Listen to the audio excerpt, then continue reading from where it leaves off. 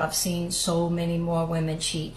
And being a woman myself, I get to be an insider to the things that women talk about. And yes, they will admit to one another that they cheat, but you will never hear an ounce of remorse. They always victimize themselves. What they'll say is instead of saying, you know what, I cheated, it was wrong, um, it was dishonest of me, it was betrayal, and I'll never do it again, what you will hear is, well, I cheated because I had to. He wasn't giving me what I needed and what I deserved as a woman.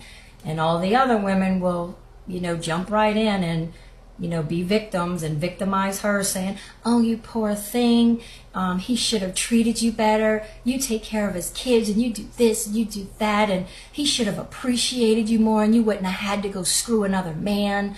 But it's, it's really uh, quite scary how they do that. But they, they're never remorseful and they always shift the blame.